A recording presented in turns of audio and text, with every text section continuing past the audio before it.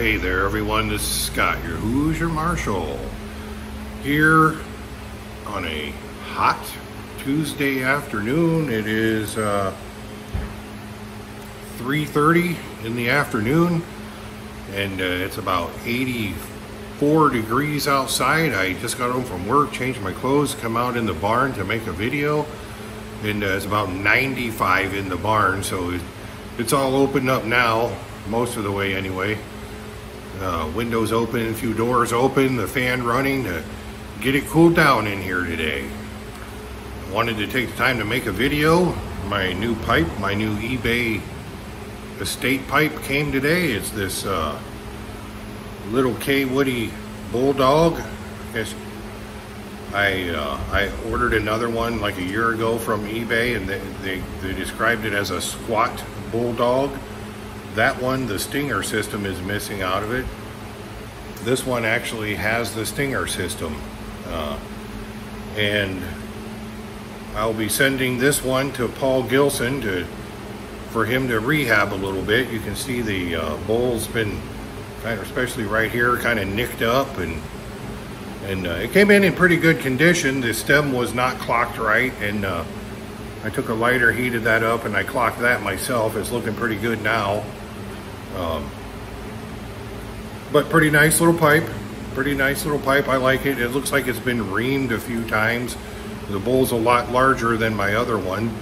Um, it's a Kaywoodie super grain, but uh, it's really, really difficult to read what it, you probably can't even see it uh, in this phone's camera, but it's tough to see, but it, it does say Kaywoodie super grain, and that's all the markings that this little baby has on it, but I'm Paul has not rehabbed it yet. I need to get it off in the mail to him, but I'm pretty happy with it the way it is. Uh, it has some character, that's for sure. And I'll show you the one I bought a year ago. Similar, but the stem is different. I don't know. You can see the difference in the stem if I can not shake long enough for you to see. I don't know if one is original and one's not, or if that's the way they both came and they're both original. I don't know, but they're. I I was hoping this one would have a larger bowl. I want a larger bowl bulldog pipe, but I have these two little squat bulldogs. Uh, I'm not disappointed. I just wish the bowl on the the newer one was taller, but. Uh, this one, you can actually read. I don't know if I can do any good if this even does anything for you. The lighting probably sucks. But it does say Kaywoodie custom grain, and you can tell the difference in the grains when you're looking at them. You can tell the difference. And on this side right here, it does say 98S, so it's a Kaywoodie 98S.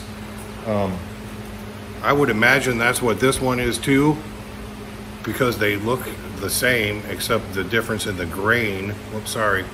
Get them both in the camera, dumbass. But uh, this one, you can clearly see the 98S on it. This one, it's not there. So that's okay. I'm not upset about that. Um, it, the pipe came yesterday. It came already cleaned and ready to go, but I cleaned it again and uh, I smoked I've smoked a few bowls through it, so I'll clean it again before I send it to you, Paul. But here's the original one I had. You can see needs cleaned, but somebody hacked off the stinger. That's a shame. I understand why, but uh, somebody hacked it off. This one is in a little better shape, but like I said, it's missing the stinger. I suppose I could take the, uh, I guess I didn't even try that. Let's take this one apart. I guess I'll experiment on camera. Take the stinger out of this one. Will it, it doesn't fit. It won't tighten up all the way. So there's a difference of some sort. There's that.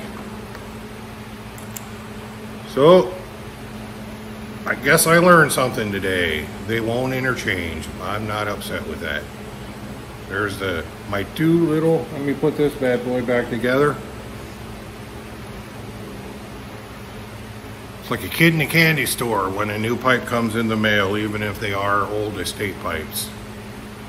Kaywoodie, little bulldogs. They both smoke really well. Here she is. Do I look like Dave from St. David's Pipe? Dave, I don't know how you do it. Uh, maybe with practice I can be a clincher, but I, I feel like I'm struggling to keep this thing in my mouth.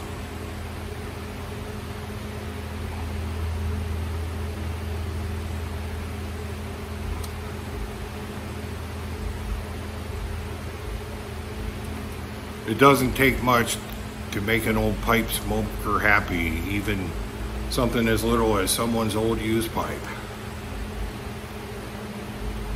And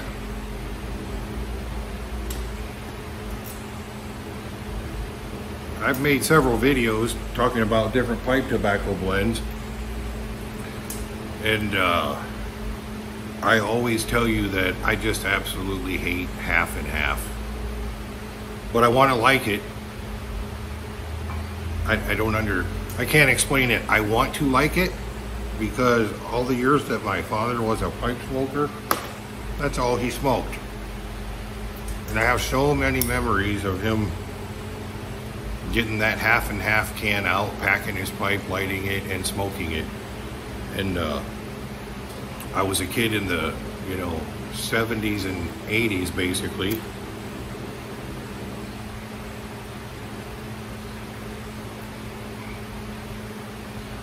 Uh, we would go on a trip in the family car. Me and my brother and my sister in the back seat, my parents in the front, and my dad's up there puffing away on his pipe, and the smoke's just coming back on us. No one thought anything about it.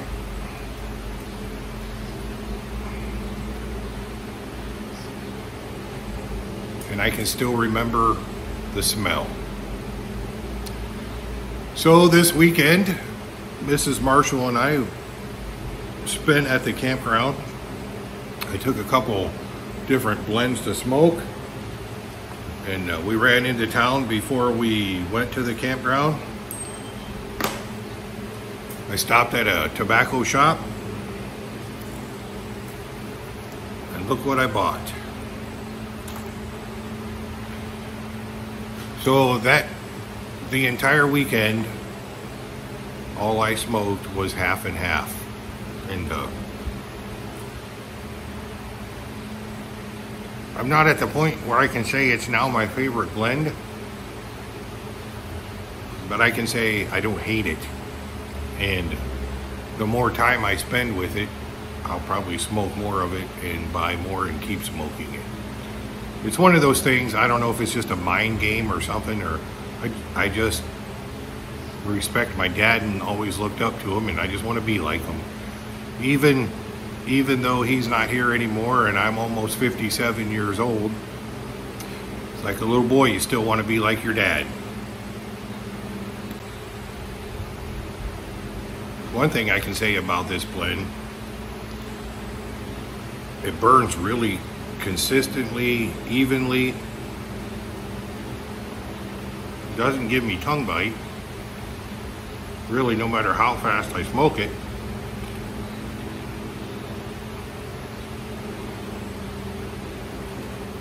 And it burns all the way to the bottom of the bowl to a fine ash. And as usual, it's Miller time. A little champagne of beers to go with it.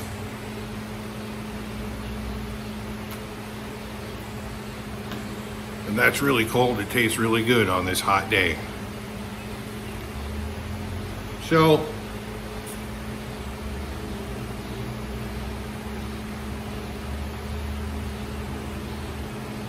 I have uh, started going through and pulling some clips of you all for episode three of the WTF News Channel.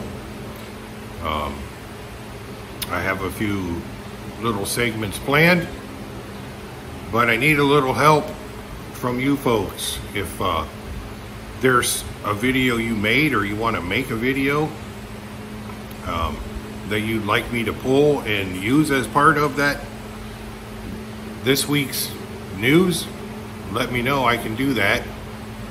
Jonathan Piper X1X. I need you to give me a weather forecast. You are the chief meteorologist. Um, I have someone in mind to be your number two person, and uh, I, I, may throw that person in this video, or I may wait until next week's episode and give Jonathan a break. But if you would, Jonathan, give me give me a weather forecast to use. Greg Tunnel. I'm sure it'll be a simple task for you.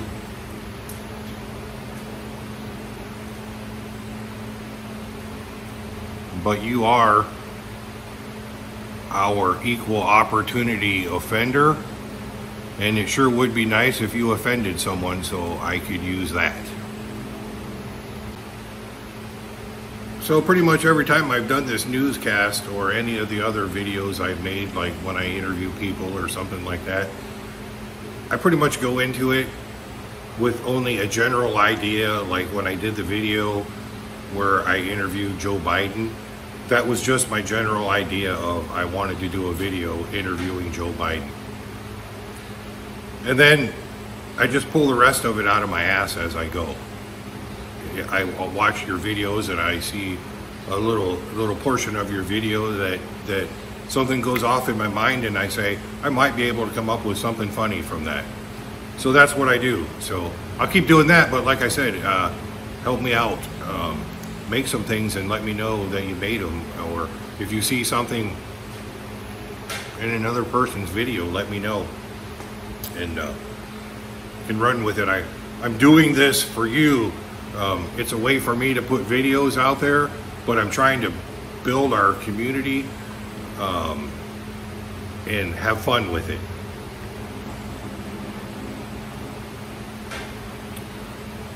You folks that live in other countries, I try to I try to keep up with your stories about what's going on in your country, and I want to try to include that. So, if you put out a story or video let me know because um, I want you to be involved too. You know, probably the majority of us, you know, live in the United States, but there is a large portion of you that do not. And uh, I hear bits and pieces of what's going on in your country and your part of the world, but I don't live it like you do. So uh, I would be happy to add anything you wanted me to. And uh, another thought I had was to do a cooking segment on the newscast. So uh, if you make a video where you're cooking something, which Potter Piper did uh, in one of his recent videos or maybe his last video, so guess who's going to be uh, in the cooking segment of this week's news. So um, I'll keep it short. I'll keep it there. I won't jump into politics today. Maybe in my next video, I'll stir the pot. But not today, I'll just keep it friendly. So, uh, until my next video, this is Scott, the Hoosier Marshal, coming to you from Northeast Indiana, saying make sure you take the time to tell those you love what they mean to you because you never know when it just may be too late. Thanks for watching. I appreciate each and every one of you.